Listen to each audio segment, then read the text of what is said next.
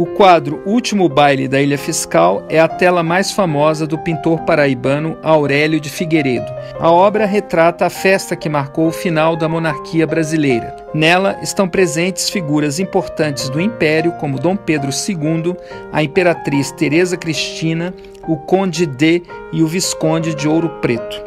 Durante mais de um século, um detalhe passou despercebido aos historiadores da arte. Numa licença artística, o pintor incluiu entre os convidados a imagem dele próprio, da mulher e das três filhas, que não estavam presentes no acontecimento histórico. A família Figueiredo aparece no canto inferior da tela, vestida de gala e dando as costas para o rei. Esta não foi a única vez em que Aurélio de Figueiredo incluiu seus parentes numa cena histórica. Ele fez o mesmo no quadro Compromisso Constitucional, que decora um salão nobre do Palácio do Catete, no Rio. A obra retrata a assinatura da primeira Constituição Republicana do Brasil. No meio dos parlamentares que participaram da Assembleia, Aurélio incluiu a própria imagem e a do irmão, o também pintor Pedro Américo. No balcão nobre do parlamento, colocou novamente a mulher e as três filhas.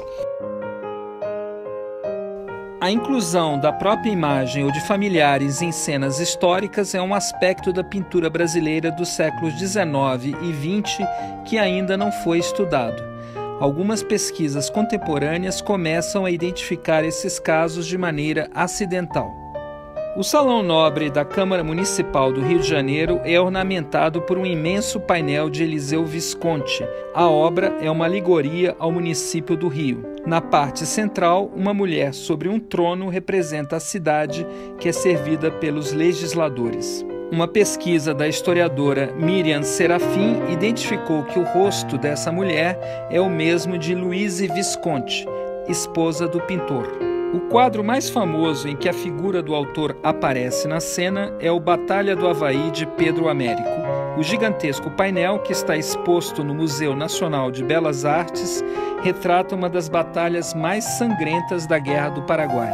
Entre os soldados da infantaria, Pedro Américo aparece fardado com um fuzil nas mãos e o rosto transtornado. Na época em que a pintura foi apresentada ao público, ninguém notou a presença do pintor e a referência passou décadas esquecida. Esse tipo de achado faz levantar uma questão: até que ponto nossas pinturas históricas estão recheadas de referências familiares ou de imagens dos próprios artistas?